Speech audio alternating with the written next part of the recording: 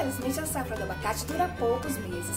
Então, a maneira da gente usufruir dessa fruta maravilhosa por mais tempo é congelando abacate. E é isso que eu vi agora, como congelar o abacate para a polpa não ficar escurecida e continuar bonita por muito tempo no congelador. Olha só como estão lindos esses abacates. Quando o abacate está bem madurinho, a casca solta fácil da polpa, olha só.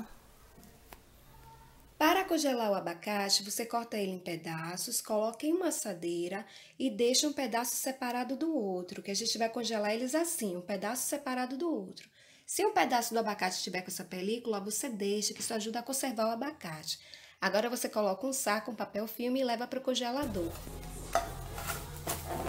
Você precisa proteger a assadeira com saco plástico, papel filme, senão o ar vai entrar em contato com os pedaços de abacate, eles vão oxidar e vão ficar escuros.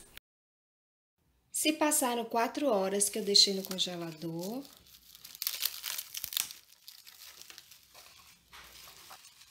Pode observar que as fatias de abacate não escureceram. Agora é tirar da assadeira e guardar em uma embalagem ou uma vasilha própria para guardar alimentos e colocar novamente no congelador.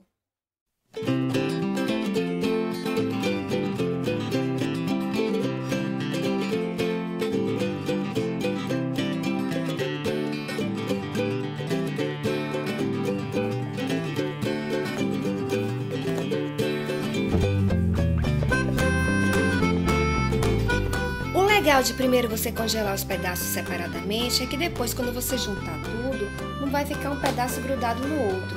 E isso facilita na hora que for consumir o abacate, porque você vai descongelar apenas a parte que vai usar.